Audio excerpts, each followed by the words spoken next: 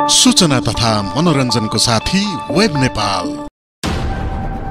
राष्ट्रिय प्रजातन्त्र पार्टीले राज संस्था र हिन्दू राष्ट्र पुनर्स्थापना तथा सङ्घीयता खारेजीको मुद्दालाई चर्काउन सडक आन्दोलनमा होमिने तयारी र निर्णय समेत गरेको छ। पार्टीका राजनीतिक एजेन्डाहरूलाई सडक र सदन दुवै मोर्चाबाट चर्काएर वार पार नै गर्ने नेताहरूले दावी गरेका छन्। केही समय अघि बसेको राप्रपा केन्द्रीय कार्य सम्पादन समितिको बैठकले छ बुधे निर्णय समेत गरिसकेको छ।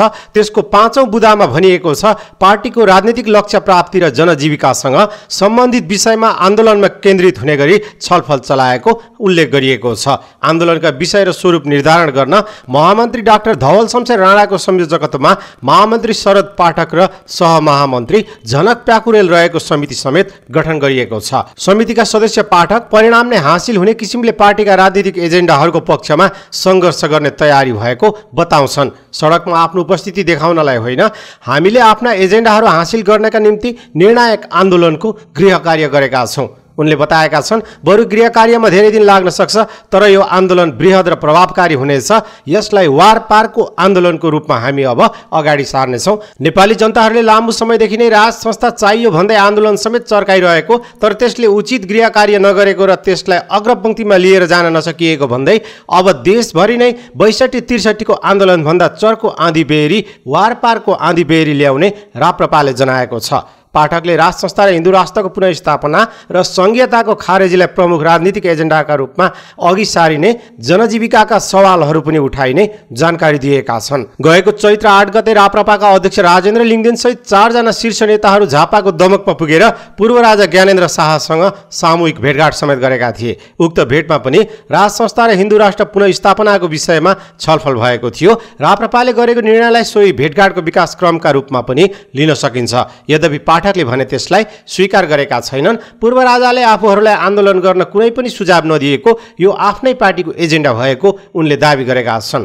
राप्रपाभित्र पहिल्यैबाट सदन र सडक दुवै मोर्चाबाट आफ्ना एजेन्डाहरूको प्राप्तिका निम्ति सङ्घर्षमा जानुपर्छ भन्ने आवाज उठिरहेको थियो। अस्तिको बैठकमा पनि धेरै नेताहरूले त्यस्तै धारणा राखेपछि हामीले यो निर्णय लिएका हौँ। पूर्व राजासँगको भेटघाटले पक्कै पनि केही बल मिल्यो होला तर मुख्य कारण यो होइन उनले बताएका छन्।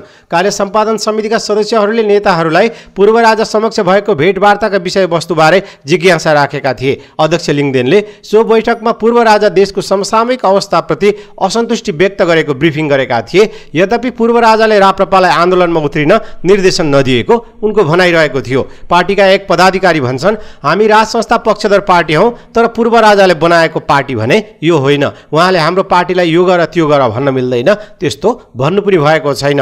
पूर्व राजा स्वयं व्यवस्था परिवर्तनका निम्ति निकै गम्भीर देखिएका छन्। उनले फागुन सात गते प्रजातन्त्र दिवसका अवसरमा जारी गरेको सन्देशमा अब मौन नबस्ने समेत चेतावनी दिएका थिए। दलहरूलाई सहकार्यका निम्ति समेत उनले आह्वान गरेका छन्। तर मुख्य राजनीतिक दलहरूले पूर्व राजाको आह्वानलाई गम्भीर रूपमा नलिएर यसलाई खिचिटिउरी गरेपछि उनी आफ्नो तयारीमा जुटेका छन्। पूर्व राजाले केही दिन अघि भारत भ्रमण समेत गरिसकेका छन्। राप्रपाले हालै प्रचण्ड नेतृत्वको सरकारबाट बाहिरिएर प्रधानमन्त्रीलाई दिएको विश्वासको मत समेत फिर्ता लिइसकेको छ भने पार्टीले सडक सङ्घर्षको बाटो खोल्नका लागि पनि यो कदम चालेको स्रोतको भनाइरहेको छ। राप्रपा सरकारमा जाँदा पूर्व राजा असन्तुष्ट बनेका थिए। यसबीचमा उनी दुर्गा पर्साईको कार्यक्रममा सपरिवार सहभागी समेत भएका थिए। यसबाट पूर्व राजा र राप्रपाको सम्बन्ध केही चिसिएको जस्तो देखिन्थ्यो। राप्रपा सरकारबाट बाहिरसँगै फेरि विश्वासको वातावरण बनेको छ। राप्रपाले गठन गरेको समितिले आन्दोलनका लागि सैद्धान्तिक प्रस्ताव तथा आन्दोलनका कार्यक्रमका खाकाहरू र मस्यौदाहरू समेत तयारी गरिसकेको छ।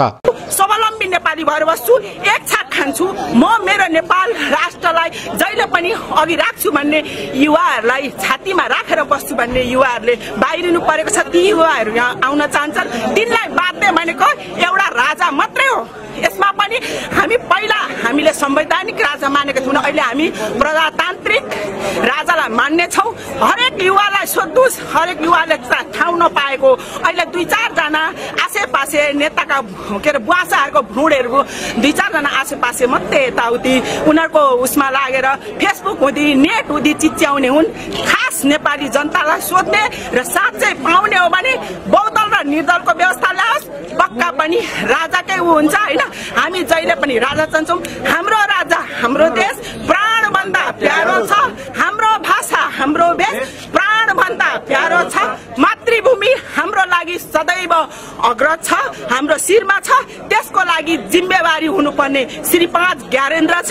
ज्ञानेन्द्र नै हुनुहुन्छ शाहवंशीय राजा हुनुहुन्छ जसले आर्जुनु भएको उहाँहरूकै हुनुपर्छ भन्ने मेरो एकदम मान्यता हो। र गएर गाउँ गाउँमा बुझ्नुपर्ने हुन्छ यो कुराको लागि चाहिँ। गाउँ गाउँमा त्यो दुई चारजना नेटमा दुई चारजना त्यो उसमा बोलाएर के अरे सोधिएको मिडियाहरूमा बोलेको दुई चारजनाको आवाजले हुँदैन। साँचो देशभक्ति भनेको गाउँमा छ। हलोको अनि अहिले पनि समातिरहेको छ। अहिले पनि एक छेक खाएर बसिरहेको छ। छानो निलो छानामा बसेको जनतालाई गएर सोध्ने र कि हिजो जनयुद्ध भनेर ल्याइएका दुई चारजनाले कमाइएको त्यो महलमा गएर सोध्ने होइन।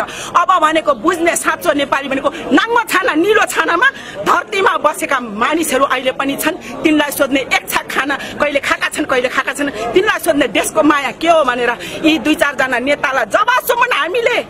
भगाउँदैनौँ? या भगाउनु मात्रै होइन उनीहरूलाई त साँचो हिसाबमा मलाई लाग्यो लागोस् कानुन। मैले नै पाएँ भने गोली ठोक्ने छु यस्ता दुई चारजना नेतालाई चाहिँ मैले म जस्तो म एक्लै नेपालीले नि मैले नै भयो भने मैले नै नत्र पनि संसद भवनमा गएर म आफूले नै आफूलाई सुट गरेर भए पनि सिद्ध्याउने छु। अति नै भयो भने म जस्तो म त एउटा सिधा हो व्यवसाय गरेर बस्ने मान्छे हो। मलाई जो जलेको छ मलाई कसैको केही चाहिँदैन मलाई कसैले दिएको पनि चाहिँदैन। म आफू कर्म गरेर खान्छु सकिन भने पानी खाएर बस्छु तर देशको लागि हमेसा लड्नेछु त्यस्ता नेताहरूलाई मार्नलाई हमेसा तयार हुनेछु जस्तो खुकुरी भुत्ते होस् जस्तो होस् त्यो उठाउन तयार छु। हाम्रो राजा हाम्रो देश यसको लागि हाम्रो राजा नै चाहिन्छ। शाहवंशीय राजा चाहिन्छ जसले हार्जेको उसैलाई नै दिनुपर्छ। यो उसैलाई नै हामीले उहाँलाई चाहिँ हाम्रो हामीले गरेको योजनामा ह भनेर साथ लिएर बाबु बनाएर लिएर जानुपर्छ। पहिलाको तानासाई होइन अहिलेको प्रजातान्त्रिक राजा बनाएर लानुपर्छ। हाम्रो राजा हाम्रो देश हाम्रो भाषा हाम्रो देश प्राणभन्दा प्यारो छ। देशभन्दा ठुलो केही छैन। त्यसलाई बोक्ने राजा भन्दा ज्ञानेन्द्र सरकार श्रीपाद ज्ञानेन्द्र सरकार भन्दा अर्को कोही पनि छैन। आफ्नो देशलाई माया गरेर आफ्नो देशको अवस्थालाई बुझेर तपाईँहरूबाट जस प्रकारको चिन्ता चासो र चिन्तन प्रस्तुत भएको छ त्यसमा मेरो गहिरो ध्यान पुगेको छ।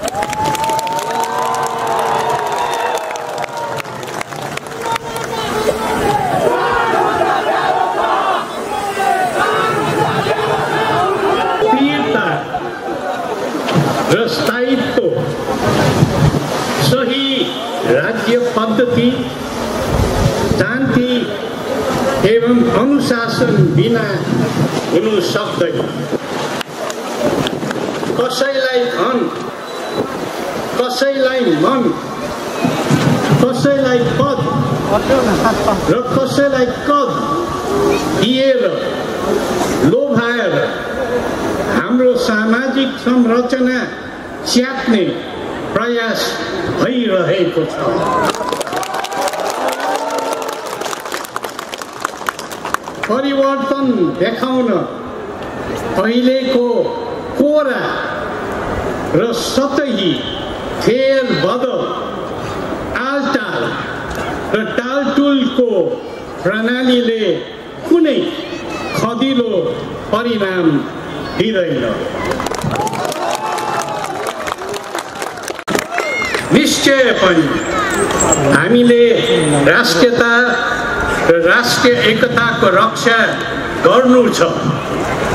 निश्चय पनि हामीले हाम्रो राष्ट्रिय स्वाभिमान अखण्डता तथा सार्वभौमिक स्वतन्त्रता जोगाउनु छ र निश्चय पनि हामीले शान्ति सुव्यवस्था र सुशासनका माध्यमबाट चौतर्फी विकासको बाटो लाग्नु छ। आफ्नो भूभागका जनता नै हाम्रा विधाता हुन्। अनि यही प्रकृति र यिनै प्राणीको बोध गर्नु नै हाम्रो अहम धर्म हो। त्यसैले व्यक्ति परिवार समूह दल वा गुट उपगुटमा अल्झिएर होइन अब हामीले हामी र हाम्रो भन्ने सुहाउँदो राष्ट्रिय अवधारणालाई प्रभाव गर्नु सक्नु पर्दछ। तपाईँहरू जस्तै सबैमा यस्तै राष्ट्रिय दृष्टिकोण जाग्रत हुँदै सूचना तथा मनोरञ्जनको साथी वेब नेपाल।